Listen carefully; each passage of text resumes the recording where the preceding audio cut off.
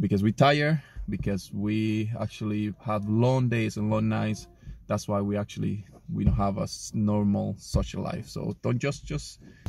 Hello guys. Um this is Wilmer Carcamo and today I want to make a video about shopping with my um with my son Maddox. Um I can say with my non-common son a non-regular son. I don't know this will be probably a big debate with uh, parents with special need kids because some of them they don't like when they call their kids special need kids or non-common kids or non-regular kids. So personally uh, our family really doesn't bother because it's really hard to actually refer to someone who is different um, without offending someone. So um, feel feel we feel okay. You can normal and name it as uh, as as you want. Um, not regular not common uh, no neurotypical uh, kid uh, but anyways my son Maddox. So this is Maddox as you know. Um, Maddox suffer for a genetic condition called 5q 14.3 deletion. So he's missing part of his chromosome 5 um, so he actually is non-verbal is not mobile he has no awareness of dangers or anything surround him. Um, he's not diagnosed autistic but um, he is uh, autistic or he's in a spectrum as well. Um, besides he has no mobile. Um, he just learned how to say go uh, because I think he wanted the car to keep moving but we are here in the in the and the supermarket. So uh, going to shopping is a is a is a, is a challenge because, for example, for Maddox, Maddox suffers of seizure. He's seizure free for almost uh, six months, eight months. Um, but that's not, that doesn't mean that we need to be ready. So we need to carry all his emergency medication in case something happen, but also um, you know, we need to carry as a baby, we need to carry all his back, also his backpack with all his stuff like a pamper, diapers, and all the stuff that actually a regular kid or a regular baby would need. Um, beside that, he is has no mobility, so he's uh, he's really weak and strong, so he needs support for everything, for sit down or actually on his chair. So I have his wheelchair with me, but today I'm using. Um, my hiking backpack because uh, every mother will understand this.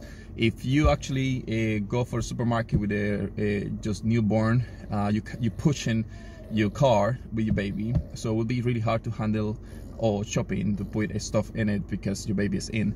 So basically you need to be able to handle uh, use your hands. And with Maddox it's the same. So he's heavier uh, so it's hard for me to push his car push a trolley or or, or, or a bag so the backpack will work better for me um, in this term. So it's a whole logistic to get out of the house uh, to make sure he has everything that he needs uh, for the couple minutes that we go into the supermarket and you know make sure if something happened we're ready for any emergency uh, that hopefully nothing happened because he has been seizure free but also he's better holding himself. So he has been uh, for the last uh, few months he got stronger he's strong so he's still weak he still needs support but he's a lot better holding himself. As you see this is a new car seat because the other one has a lot more support was a lot more bulky so this is easier actually to put it in and put it out uh, with his seat belt and stuff like that. So it's just a logistic. This video will be probably not the funnest things, but you will see what I do, uh, what we do as a parent uh, of a non-common kid uh, or non-regular kid. Um, uh, like I said, you can say it, non-neurotypical kid.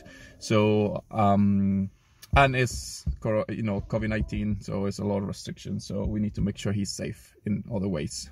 Um, oh, in my backpack. Is, I think it's good, right, puppy? So this is Maddox. Sorry, we not brush your hair because we don't look the prettiest because actually we spend more time getting ready and stuff. So I will show you how he get ready. Um, how I'll get him set it up in my in the in the in the rucksack or in the backpack on hiking back. And and I will film some stuff just buying some produce actually. It's outside so it's like a um, it's Dobbies a moped um, and they have the produce uh, department outside so it's pretty cool. So let me show you how this goes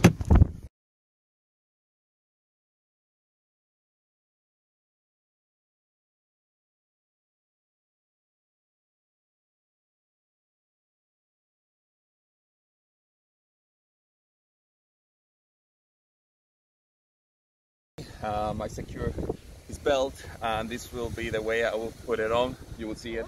I will be a challenge now. Okay.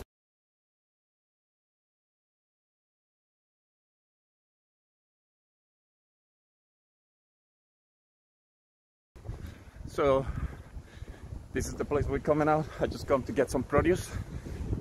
See? So this is outside of Dobbies.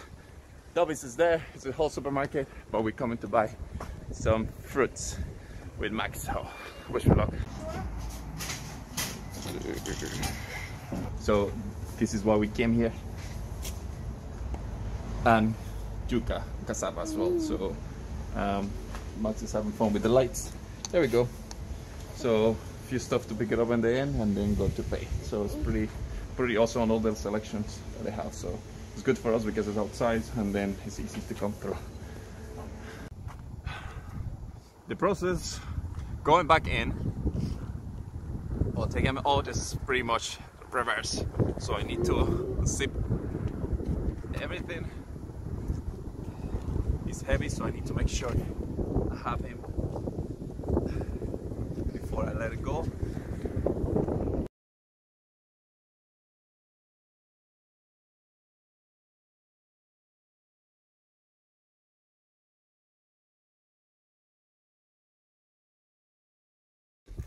Okay. Max, could you look, uh, look after the eggs, please? Max is in charge of the eggs. Um, well, as you saw probably, Max is not fan as well of the wind.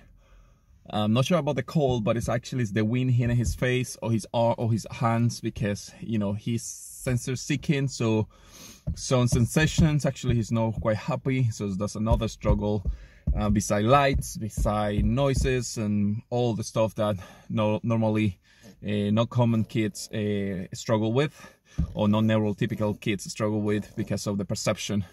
So as a parent, you need to we need to be aware like wherever we go, there is nothing that will affect your kid. In general, uh, sounds related, uh, light related, because some of them are seizure triggered by light or the light triggered seizures um, or the discomfort. Thankfully, Max has not too much of those. Um, and he, the only thing that bothers him actually is the sensation, like the feeling, the wind, um, some noises, uh, but otherwise it's quite relaxing and easy. He's tired as well, so I need to go back home and probably go to sleep. there you go. I just told you. Um, as a parent or as a dad uh, of a non-common kid, actually you learn a lot of stuff to understand. I, I'm really um, I'm really interested for the fact of human behaviors and stuff like that.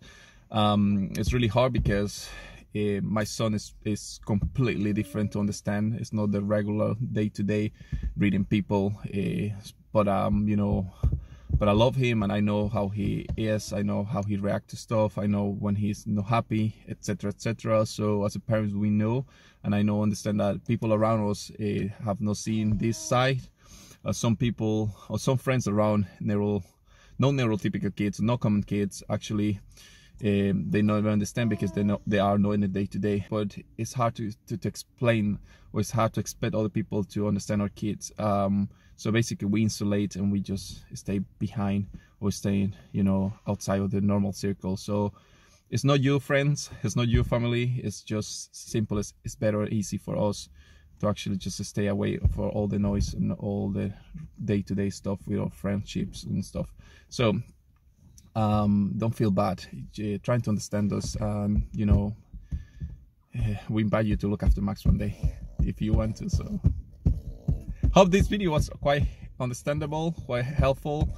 It's long but it's just a moment of a uh, this is how long it takes us to do regular stuff for your kids because Max is is like a baby still and will be probably for a little bit longer until he develop all the skills. I don't, we don't know when, we don't know if it will happen, but um, so it's for you to understand our regular day and why sometimes we say we're not coming out because um, my son um, will be not happy, but also add all these for the long nights and not sleep because you know he's awake two o'clock in the morning from last night and we need to look after him because he cannot do anything he need to be fed he need to be changed he need to be entertained and eventually he cannot do anything by himself so because we tire because we actually have long days and long nights that's why we actually we don't have a normal social life. So don't just just just simple